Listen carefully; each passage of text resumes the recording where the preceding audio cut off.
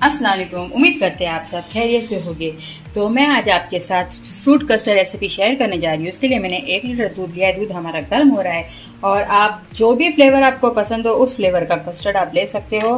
तो मैंने आज वनीला कस्टर्ड लिया है। जब तक हमारा दूध गर्म हो रहा है तो उस वक्त तक हम हमारे जो इसका कस्टर्ड का घोल बना लेते हैं। और आपसे कहना चाहती हूँ मैं कि रमज़ान, माह रमज़ान जो हमसे पिछड़ रहा है, छूट रहा है, गुजर रहा है, वो बहुत बुरा लग रहा है हमें उसके लिए। क्योंकि इस माह रमज़ान की जो नूर होती है, जो सहरी इफ्तारी होती है, वो बहुत याद आएगी। और इफ्तारी का जो लम्हा होता है, जब हमारा रोज़ा खोलने का जो टाइम होता है, उस वक्त वो जो फीलिंग आती है ना, वो बहुत याद आएगी। तो और जो कुछ भी हमने ज़िक्र अस्कार किए हैं, नमाज़, इबादतें वज़ैफ जो कुछ भी पढ़ा है, तिलावत कुरान, अल्लाह ताला उसे अपने बार का में कबूल करे।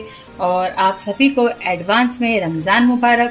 तो चलिए, अभी हमारा दूध गर्मी हो रहा है तो उस वक्त मैं एक घोल बना लेती हूँ। दूध हमारा गर्म हो गया है और मैंने बर्तन चेंज कर लिया है। ये थिक बॉटम वाला बर्तन लिया है, ताकि हमारा जो कस्टर्ड है नीचे चिपके ना। मैं इसमें शक्कर ऐड कर रही हूँ। शक्कर आप अपने टेस्ट के हिसाब से लीजिएगा। मुझे ज़्यादा मीठा पसंद नहीं है।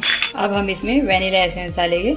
इससे फ्लेवर और बढ़ जाता है। बहुत अच्छा लगता है वेनीला का फ्लेवर फोर स्पून लिया है कस्टर्ड भर के, क्योंकि हमारा दूध एक लीटर है।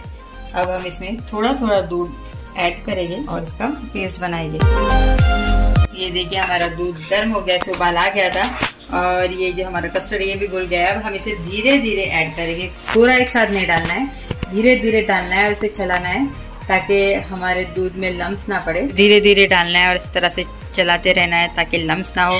और थिक बॉटम वाला बर्तन लेना है, ताकि कस्टर्ड हमारा बर्तन को लगे ना। ये देखिए हमारा कस्टर्ड तैयार हो गया है। मैंने गैस की फ्लेम बंद कर दी है। और कितना अच्छा ये देखिए, कितना थिक नज़र आ रहा है। अब हम इसे ठंडा होने देंगे। ठंडा होने के बाद ही हम फ्रूट ऐड करेंगे इसमें।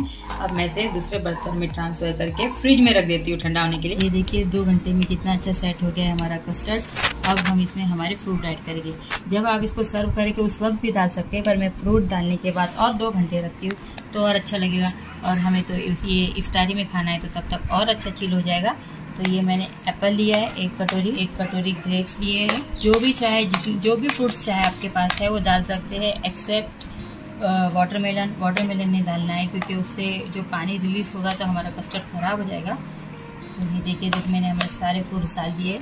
और फ्रूट्स को अच्छी तरह से मिक्स कर लेंगे कोट कर लेंगे कस्टर्ड में, और फिर से फ्रिज में रख देंगे ठंडा होने के लिए। ड्राई फ्रूट में मैंने पिस्ता और बादाम लिए, ये भी डालेंगे। बाद में आप गार्निशिंग भी कर सकते हैं जब सर्व करेंगे, पर मैं पहले ऐड कर देती हूँ। फाइनली दो घंटे बाद ये ठंडा हो चुका है और हमने इसके ऊपर मैंगो और मस्क में डाल दिया तो आज की वीडियो आपको कैसी लगी कमेंट बॉक्स में ज़रूर बता देना। अच्छी लगी तो लाइक कर देना चैनल पर नए तो सब्सक्राइब कर देना और बेल आइकन को भी ऑल पर सेट कर देना ताकि आप इसी तरह के हमारे रेसिपीज़ और ब्लॉग्स जो हम डालते हैं, अगर आपने देखा नहीं होगा तो हमने पहले भी दो तीन ब्लॉग पहले डाल रखा है।